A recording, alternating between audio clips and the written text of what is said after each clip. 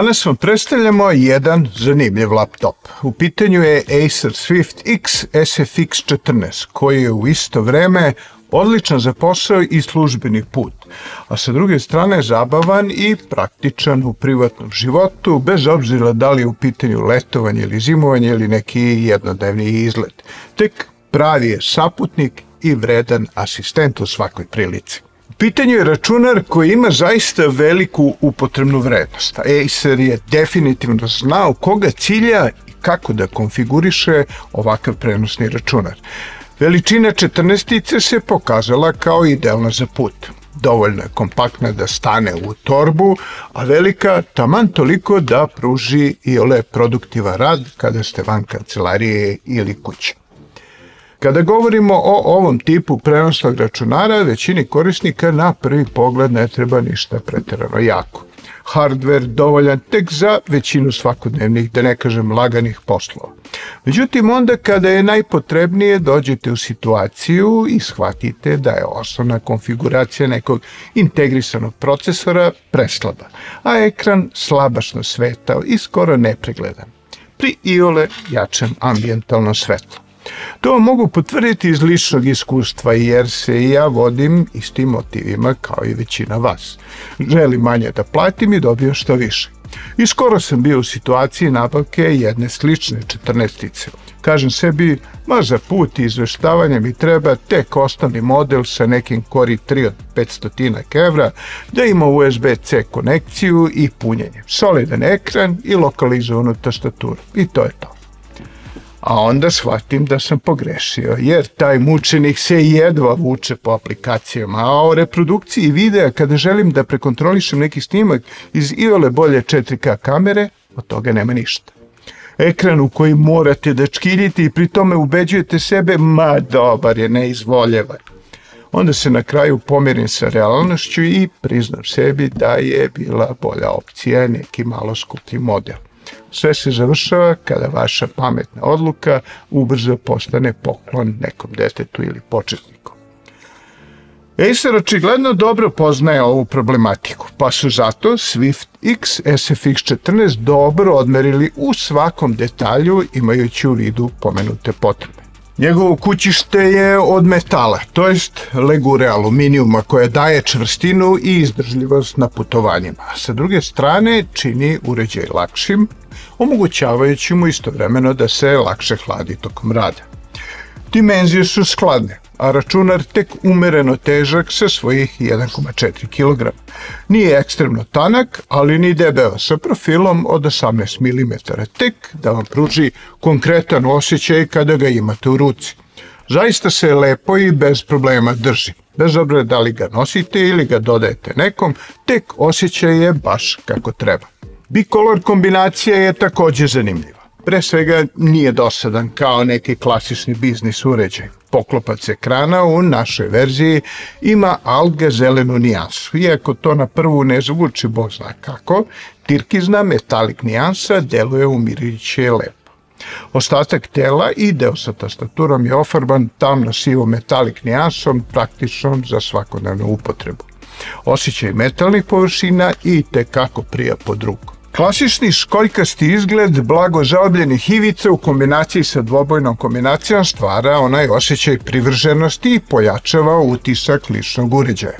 Nije hladan i odbojan, već kada pogledate u njegovom pravcu pomislite baš mi je drago što ga imam i sa osjećajem zadovoljstva posegnete uvijek kada poželite da radite s ovim računarom. Upravo taj osjećaj ličnog mi se dopada kod Acer uređaja jer ga gotovo uvek tako naprave, osim u slučaju onih razumljivo najjeftinijih budžet modela.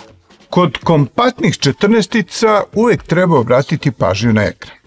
Na većim dijagonalama još i nekako možete da podnesete kompromis solidnijeg ekrana, ali na ovako maloj dijagonali ekran mora da bude kvalitetan i svetao. Acer Swift X SFX 14 ima ekran 3 prema 2 formata i prikazuje rezoluciju od 2240 puta 1400 piksela. To vam odmah sugeriše da je efektivna radna površina veća, jer se vidljivi deo matrice pruža do samih ivica dela predviđenog za smeštaj ekrana. Izmereno maksimalno osvetljenje iznosi 325 nita, što je od presudne važnosti za rad na terenu. Prija oku i daje dobar kontrast. Kada tome dodate i činjenicu lepo balansiranog kolora IPS matrice, dobijate kvalitetan ekran. Ključan detalj kod ovako kompaktnih prenosnih računara. Svakako ima i boljih ekrana u 14-inčnoj dijagonali, ali su papreno skuplji.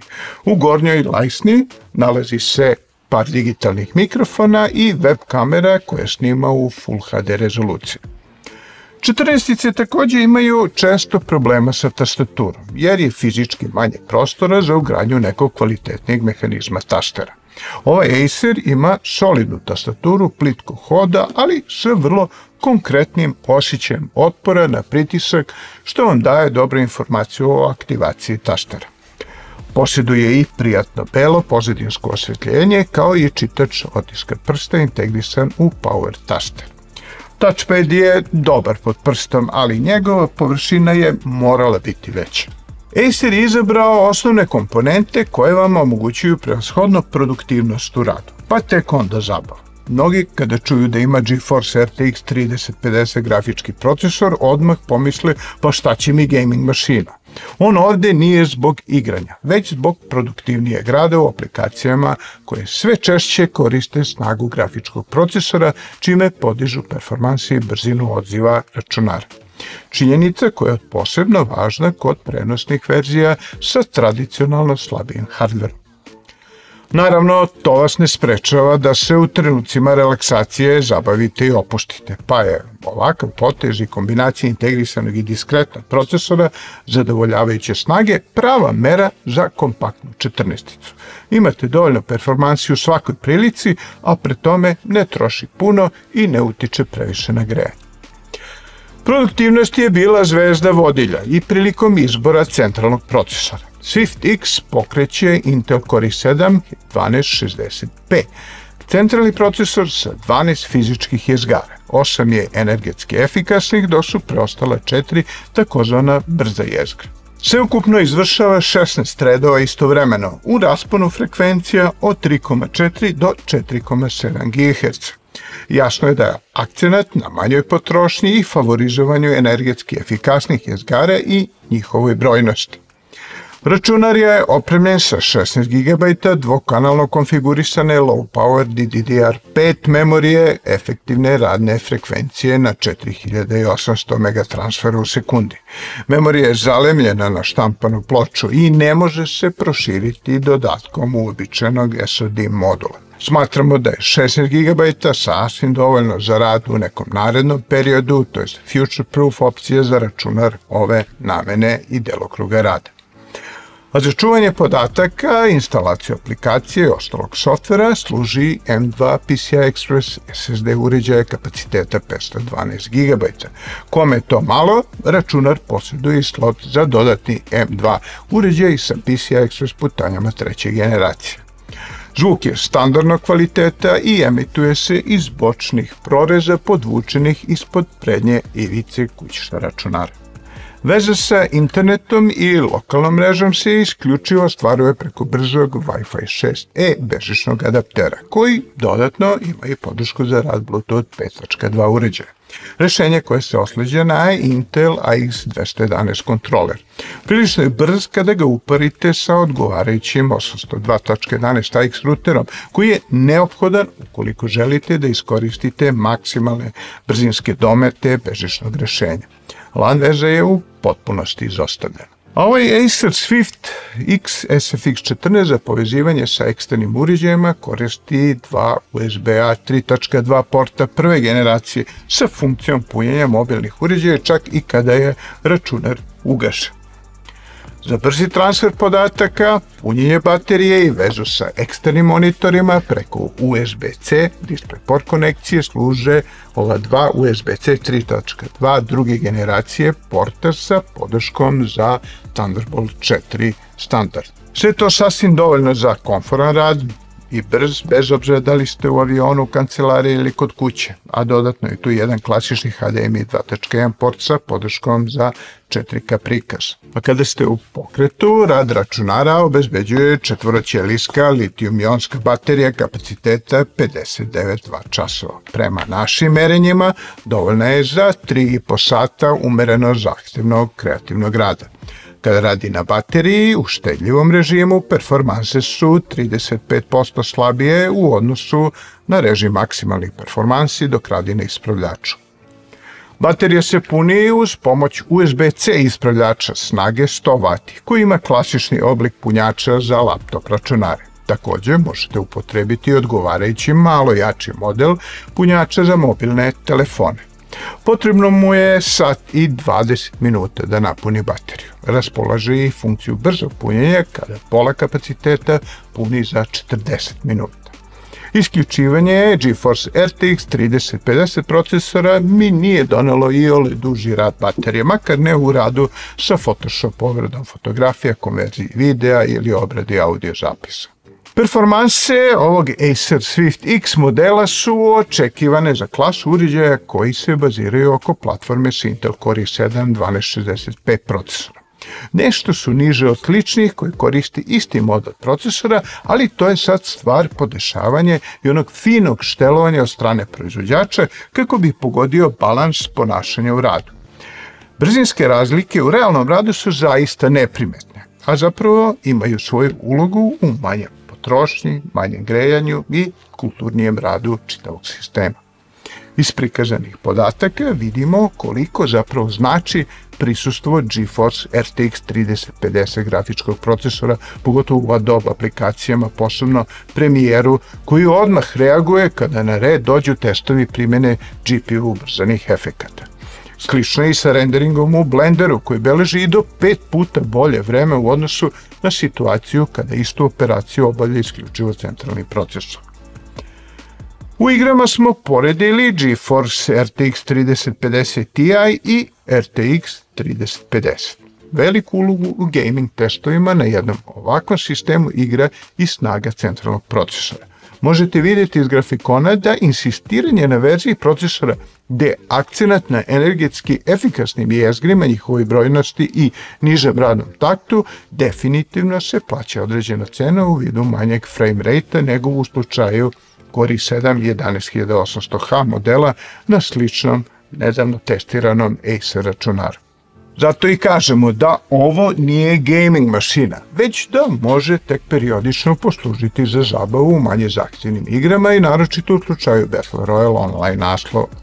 A grafikon temperatura pokazuje uobičajene vrednosti za novu generaciju centralnih procesora, kod kojih je sasvim normalno da rade pod opterećenjem u opsegu temperatura od 80 stepeni.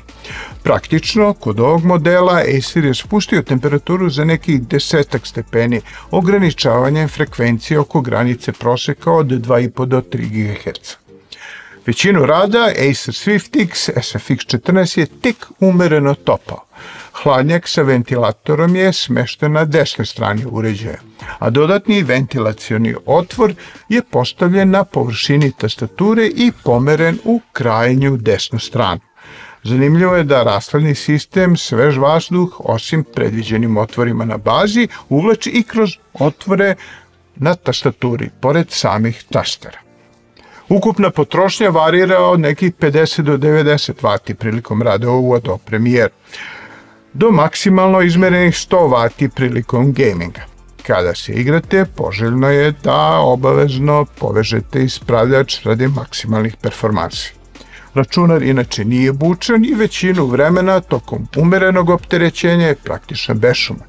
Ventilator se tek oglašava u situacijama izrazitog opterećenja grafičkog i centralnog procesora, ali je čak i tada prilično tih. Na kraju ovog prikaza dolazimo i do konstatacije da je konkurencija u ovoj klasi kompaktnih 14 u poslednje vreme je prilično jaka, ali i šarenolika.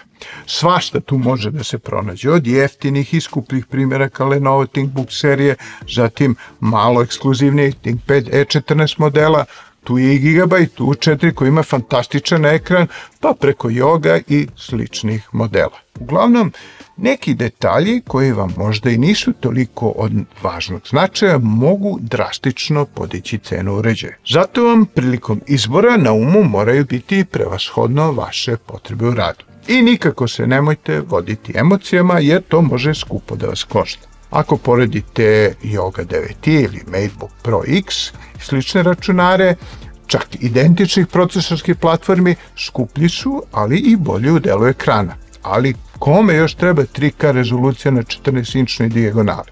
Sa druge strane, ni 2200 piksela koje prikazuje SwiftX uopšte nije loše, a pri tome dodatak RTX 3050 grafičkog procesora pravi odlučujuću razliku u velikom broju aplikacija, poput pomenutog premijera, gde je ovaj računar duplo brži od modela koji koriste samo integrisano grafičko rešenje. Šta u stvari želim da vam kažem? Krajnji i konačni sud morate doneti sami, ali pri tome se vodite svojim osnovnim potrebama u radu, sa jednim ovakvim računarom, kako ne biste zalutili među mnoštvom modela.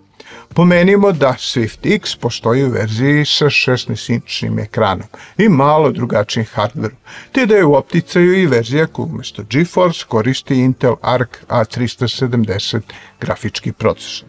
Za sada se držimo modela koji nam je došao na test, jer Acer Swift X SFX14 je dobro pogođena kombinacija hardvera, gdje ni jedan deo ne strči preterano i predstavlja jednu skladnu podešenu celinu.